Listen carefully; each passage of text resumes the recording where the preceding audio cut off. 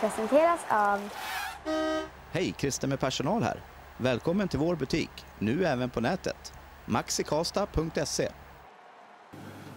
Antar att eh, det var skönt att vara tillbaks men också tråkigt med en förlust idag. Viktor, hur sammanfattar du matchen?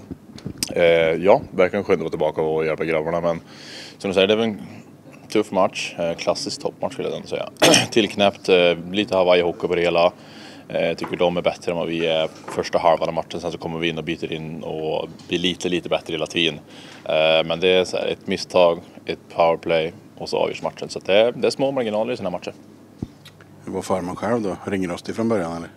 Eh, Ja, men det blir ju så. När man inte spelar på två veckor så tappar man lätt tajmingen. Så att det tappar man ju ganska omgående nästan. Så man vill ju bara komma in så fort som möjligt. Jag tycker att första perioden var lite tufft. Kom in i det bättre och bättre mot andra och tredje. Sen så tycker jag det känner ganska bra. Och just formen i sig tycker jag fått en bra träning i alla fall under de här två veckorna. Så att jag tycker att statusen på kroppen är ändå väldigt, väldigt bra. Och få gå in och göra comeback mot eh, ett lag som erkänt mycket fart. Hur var det då? Ja men det är klart att det gör det ännu lite svårare med just tajmingen där. Men också ganska skönt för då känner man att ja, men det är så här, det är det här matchen man vill spela också. Det är klart att toppmatcher är de roligaste matcherna. Så att, eh, tuff match. Synd att vi inte kunde vinna.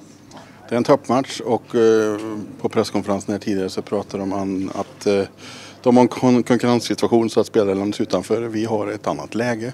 Eh, någonstans så måste jag ju en personlig åsikt, ni gör ju ett jäkla jobb där ute med det vi har att spela med.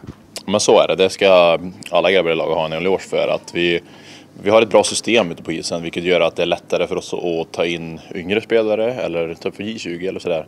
Eh, alla har en bättre idé om vad man ska göra på isen vilket underlättar och vi är ändå slagkraftiga trots att vi har tappat många starka namn. Liksom. Så att vi, har, vi har ju grunden till och det är, kommer man ganska långt på vilket gör att vi har ändå spelat bra på slutet trots med skavanker och vi har ändå vunnit många matcher så att grabbarna ska ha en eloge.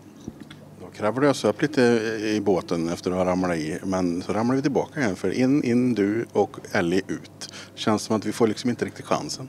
Nej, nej, det börjar nästan bli lite ironiskt över det hela. Eh, tappar många, framförallt tunga namn har vi på skadelistan. Vi får hoppas att det, det vänder snart, att vi får in lite fler för att skapa en konkurrens in i gruppen också. Det, det behövs. Och, men trots det hela så har vi ju vunnit många matcher med, med skadebenäget lag. Så att, starkt ändå. Och något som funkar var ju straffskyttet. Fick du en möjlighet idag där? Och När bestämde du dig vilken variant du skulle ta? Eh, ja, men ganska sent faktiskt. Nej, men det kändes som att eh, jag ville tillbaka till, till tryggheten lite grann och göra någonting som jag är bekväm med. Så att, eh, det var ändå jävligt skönt att se. Jag var lite nervös idag till och med. Så att, eh, skönt att se att den gick in verkligen. Då har vi helgar då, och sen så laddar vi för en eh, match på torsdag nere i Malmö. Några dagar till att läka ihop lite grann. Ja, men precis. Eh, förhoppningsvis så kanske vi får tillbaka dem, man vet aldrig. Eh, men eh, har ett par dagar med bra träning och så är det bara på det igen.